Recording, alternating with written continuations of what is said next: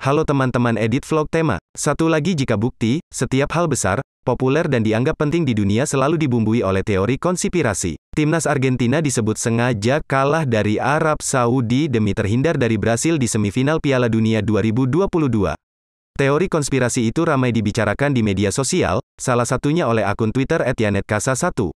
Argentina sengaja kalah dari Arab Saudi demi mendapat jalur yang mudah ke final, tulis akun Twitter @yanetkasa1.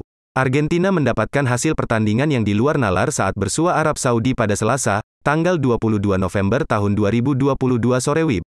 La Albiceleste julukan Argentina di luar dugaan tumbang 1-2 dari Arab Saudi.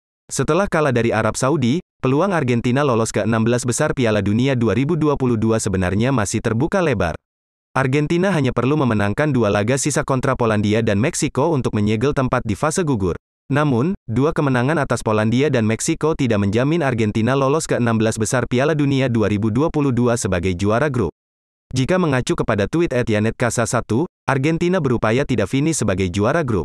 Sebab, jika Argentina lolos sebagai juara grup dan di saat bersamaan Brasil juga finish di posisi juara grup G, kedua tim bakal bersua di semifinal Piala Dunia 2022, dengan asumsi Argentina dan Brasil sama-sama menang di babak 16 besar dan perempat final. Jadi, demi menghindari Brasil yang merupakan calon kuat juara Piala Dunia 2022, Argentina disebut memilih finish sebagai runner-up grup.